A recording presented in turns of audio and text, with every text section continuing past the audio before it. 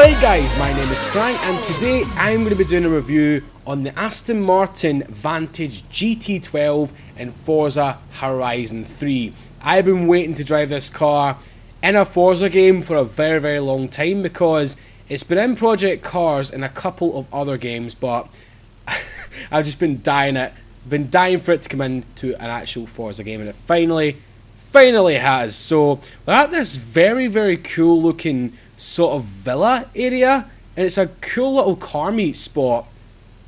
I mean, I don't know if any of you guys hang around this place online yet, but it's a really, really cool little area. But anyway, we're going to go ahead and jump in the Aston Martin right now. Head up along the coast road. We've not been down there for a wee bit. And see what it's like, basically. So let's get going.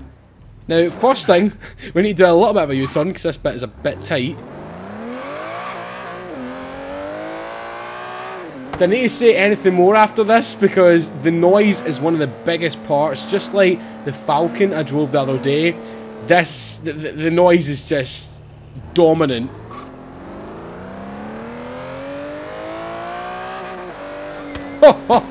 you cannot beat an Aston V12, man. Oh, it's so good.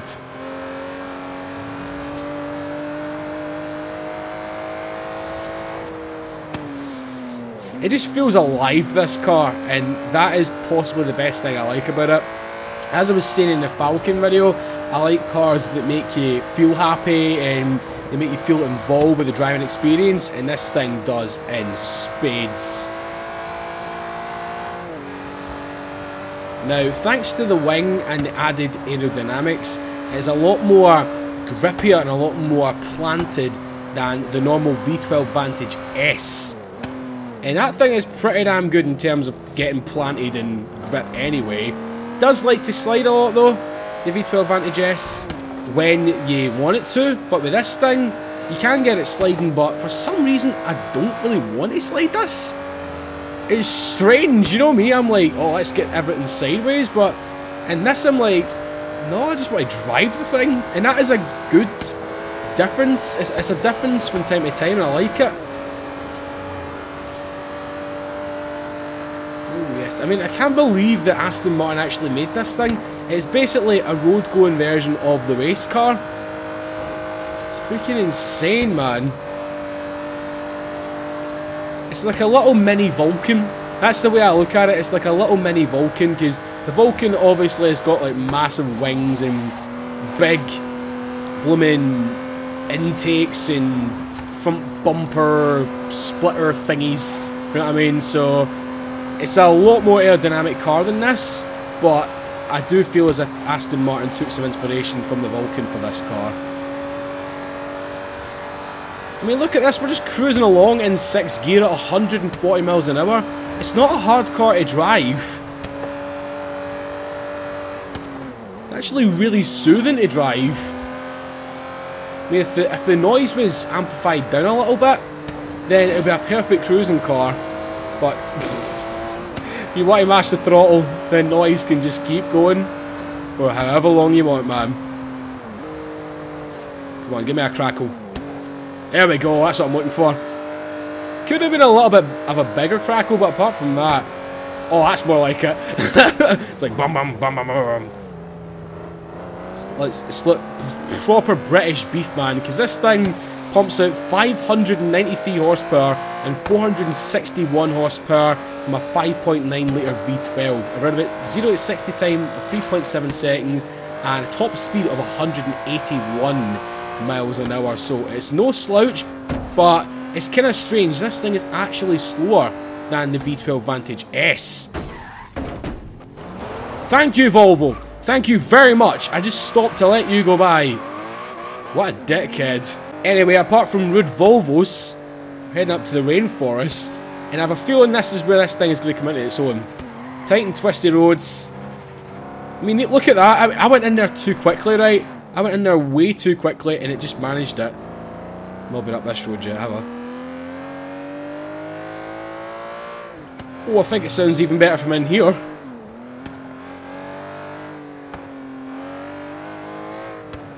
Oh yeah. I mean, if you like to be like a serious racer, guys, and not really a Hoonigan. I'd recommend picking one of these up, man. It's really good. Let's just say, if you're a fail race sort of guy... Oh, shit, sorry. if you're a fail race sort of guy which likes to take everything a little bit more seriously, then, yeah, definitely check this car out. These roads, though. I mean, the Rainforest roads have to be some of my favourite driving roads in this game. They're just so beautiful. Even though this is on Xbox One, not the Xbox One S, it is freaking dazzling. Can only imagine what it's going to be like on the PC, man. I've seen some gameplay footage in that, but if you've got it on PC, guys, then let us know in the comment section below. Because my PC isn't the greatest in terms of specs. It can only just run games, but yeah, I'll be thinking about upgrading mine uh, in like a year or so, maybe a wee bit less than that. But right now, I've got a lot more things going on that rather than going up, rather than upgrading a PC. Oh yeah, it's oh man, it's it's uh. I'm kind of lost for words with this car, man. Seriously, it's not a disappointment. In Project Cars, obviously, you know how hard that was to drive cars in that game with a controller. Uh, I don't know what it was like with a steering wheel. I think it was roughly the same. It's quite hard to drive These cars would bounce all over the place. But I am finally, finally glad that this has found a way into Forza because it feels at home. Oh, there we go. First sideways action of the day, guys. I didn't even mean to do that. I was in second gear and the power just came on me there. Oh, yes. Right, give me a Drivatar. I want to race them in this thing.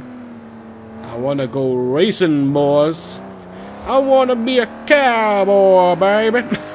Still love that Vine, man. I know it's like months old, but some of the older ones are the best. I don't know if you still watch Vine, but Vine and dank memes are fucking brilliant. Seriously. I don't like the new one, as I mentioned before, the bloody Buzz Lightyear thing. What's your name? Buzz Lightyear, the biggest freaking action hero out there. It's just a John Cena rip-off. Don't try and rip off John Cena, because it's the bloody best one out there, I think. Well, it used to be. Give me a bloody supercar something to verse, man. I'm choking for a race here. And that isn't normally like me. Because you know me, I like just cruising about. I'm absolutely choking for a race, mate. My proper Scottish side coming out there. Jesus.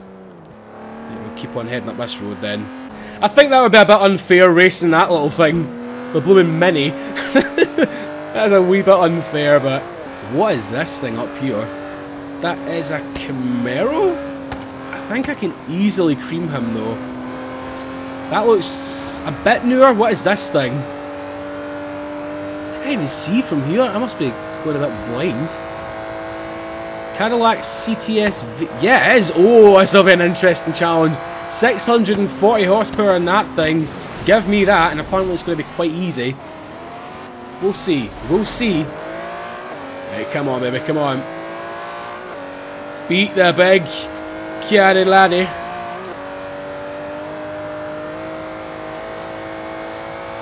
It's such a precise car as well, man. I'm only just tapping on the analog stick and it is getting into the corners with blooming ease.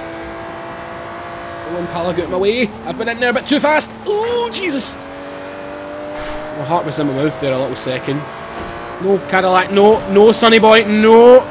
Oh, that was close. That was very close, but I'm actually glad we went down this road because there's a very, very good drifting section that we just passed there. I'll take you on it right now. We'll just circle back around. I came across this a couple of weeks ago, guys. Well, not a couple of weeks ago, but you know what I mean. You jealous, mate? You fucking jealous that I won? Yeah, bastard. win Drivatars, man. I don't know. I do not know. Right, so if we just cut up in here, this is a great, great, great road for drifting. Excuse me, Alex. Move your HSV ass. I mean, look at this. It's like it's only like one section, right? But it reminds me heavily of Colorado in Horizon 2. Horizon 1, I mean. Bloody idiot. Surprisingly drifts quite well. You need to turn a lot, though. That's the one thing I noticed. Compared to some other cars, you need to turn the steering wheel quite a lot to get it sideways. With some other ones, you just kick the clutch and that, and you're just sideways. That is a very good section. I'm going to go round it again, actually. It's better going this way that I'm going to go now. It's the way that I first found it. Interior. Oh god, oh god, Alex. You need quite a bit of momentum in this car, man. I've noticed that, like, the speed is relatively low the speed is relatively low for in like third gear. Whoa, okay then. Holy shit, I didn't expect that. It just randomly spun me out. Right, so there is a limit to this car. Okay, that was that was honestly a surprise, guys. It's never done that to me before. Holy crap. But yeah, I, I probably recommend you coming down this road in a wee bit of a better drift car. Because this... It's alright. But as I says, I prefer just driving the thing. Now, does it feel quick? Yeah, obviously, but when you compare it to like the V12 Vantage S, which I've driven before in like Horizon 2, it's it's just on the same level, but I think the V12 Vantage S just edges it. I know this has got more power, but to be honest, I don't really know. I, I can I can only feel a slight difference between the two. Obviously, this one has more grip. Oh god! Right, okay, on my TV screen it's quite bright, right, so I did not see that BMW coming. Okay, I might need to turn down the brightness settings on this. It's kind of weird. Oh my god. Come on, come on, get past Alex. Come on, come on, come on, come on, come on, come on! Aston, come on! He's only in an HSV GTS. Jesus Christ. Oh god, move it the way Cadillac. It's not going to help that it's raining now. We're going to get sideways like a mofo in a minute. We're quite lucky the Outback is mostly straight roads. Don't be a car coming, don't be a car coming, thank you very much. It's just sheer suicidal going on the other side of the road of this game.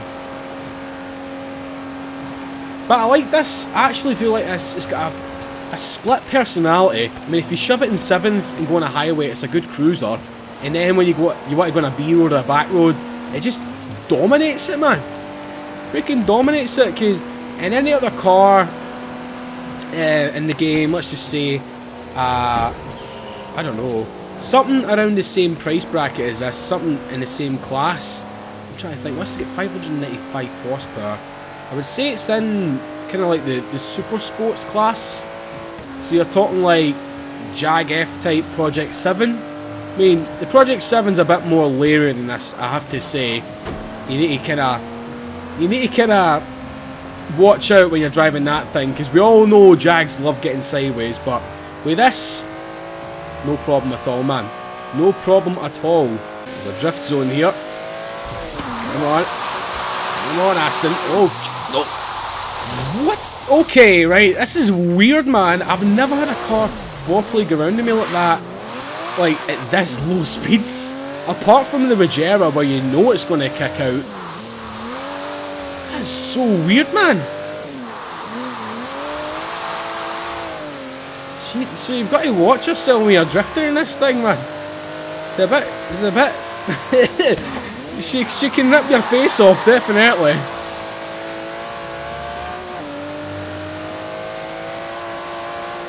But overall, I am in love with this thing, man. I really do like it. In terms of, like, as I said, grippy and B-road barnstorming. It is fantastic. In terms of cruising, it's good. But for drifting, as I said, and as you just seen, watch out. Because she can bite. She can bite, man. But anyway, guys, if you have enjoyed this review of the Aston Martin Vantage GT12, then let me know by leaving a comment and a like as well. Subscribe to the channel for more Forza Horizon 3 content from me, and also follow me on all my social media stuff in the comment section below. And also, haven't mentioned this in a while, if you want like a 5% discount off of the actual chair that I've got, the GT Omega Racing one, there's a link in the description below and you can go and get it. I'm not forcing you obviously to get it guys. If you're just looking for a new chair, then these things are actually pretty good. So, yep, thank you very much for watching guys. I will see you in the next one from me and the Aston Martin. Bye-bye. I'm just going to listen to that noise for a little bit more. So good.